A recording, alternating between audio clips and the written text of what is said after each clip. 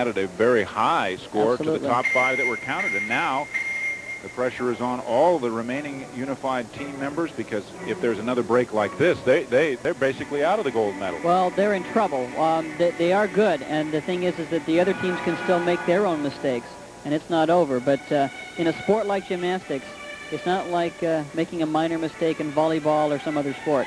You make a mistake here, and you're in trouble. It's hard to regroup. Diana Schroeder of Germany on the floor.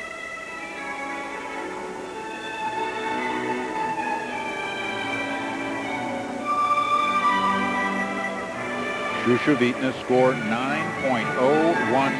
9.012.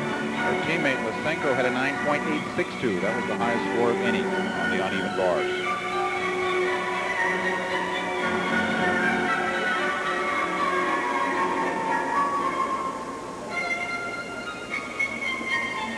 Another opportunity for Germany to try to move up in the world standings after placing eighth at the World Gymnastics Championships. That's very disappointing for them based on their history in the sport.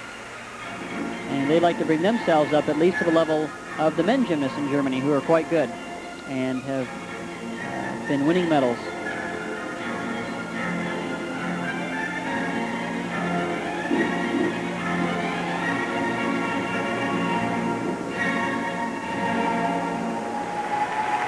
Diana Schroeder of Germany